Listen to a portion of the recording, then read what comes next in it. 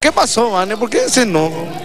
Me enojé porque intentamos con Coco, con Polaco hacer una estrategia, pero no se puede porque eh, nos basamos en el juego anterior que ya jugamos este y cambiamos, ¿verdad?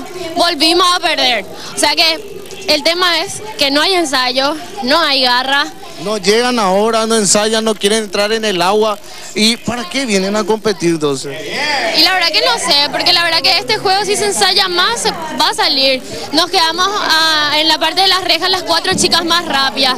O sea que solamente le pedimos que hagan bien los tambores para que nosotros hagamos el resto. Y ni siquiera, o sea, no veo garra, eso es lo que pienso.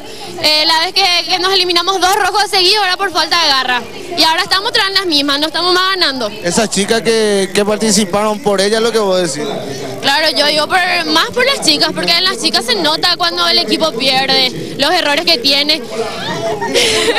o sea, los, los varones también se equivocan, yo también me puedo equivocar, pero que siempre se equivoquen las mismas personas o que siempre estemos diciendo, vamos a ver si a fulana le sale. Es porque esa persona no está poniendo garra. Lo que pasa es que nosotros no podemos armar las estrategias cuando sabemos que tenemos li- limitaciones. Tenemos todavía varias chicas que, que... Quieren entrar en el agua. No, no, no, es que no quieren entrar en el agua, sino que tienen miedo todavía. Yo ya le... Eh, ¿a ¿Entrar en el agua o cómo?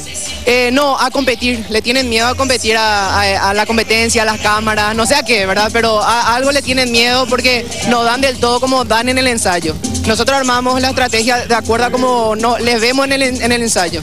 Entonces, eso nada más es lo que Van está pidiendo, ¿verdad? Que así como en el ensayo se ponen las pilas, también queremos que en el programa den todo de ellas.